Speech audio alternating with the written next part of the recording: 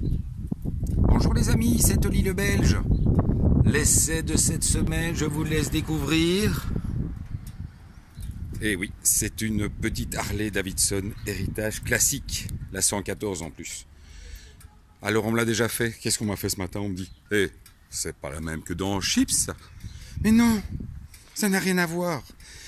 Les, concepteurs, les réalisateurs de Chips avaient pris contact effectivement avec Harley Davidson pour recevoir les motos comme la police. Mais Harley Davidson n'a pas trop cru en cette euh, série euh, dans laquelle il y a des policiers qui poursuivent des méchants sur des autoroutes bondées et qui effectuent des cascades euh, sur des routes désertes et fermées à la circulation. Un truc, donc dans Chips, ce sont des kawas qui sont mis en scène. Ça peut toujours servir lors de vos soirées motards ça vaut toujours la peine de parier, c'est toujours euh, marrant.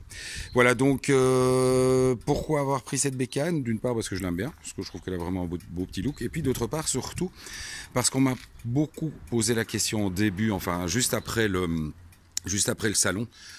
Est-ce que toutes ces Harley avec les nouveaux cadres, la nouvelle puissance, etc., est-ce encore de vrais Harley?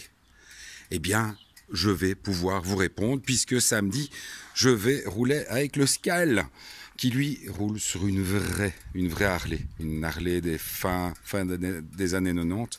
Donc le vrai vrai truc où effectivement on se sert plus de ces semelles que des freins et où l'embrayage demande une poigne d'un célibataire de 45 ans. Donc on va vraiment pouvoir voir ces deux bécanes face à face, enfin plutôt côte à côte, voir l'évolution. Celle-ci, je viens de la ramener de Bruxelles. Euh, franchement, la position est très sympa. Elle me rappelle un petit peu la crossbone avec le, guidon haut et la position basse. Force est de reconnaître que le 114 va plutôt très très bien. Euh, il y a une bonne puissance, le moteur, euh, le moteur est vraiment coupleux, malgré le fait que ce soit toujours les pots d'origine. et la position est très très sympathique. Moi, le seul truc qui m'ennuie un petit peu, on va très certainement s'y habituer, hein, mais c'est ce pare-brise en biteinte.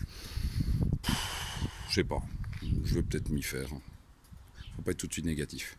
Allez, on se retrouve ce week-end les gars. Ciao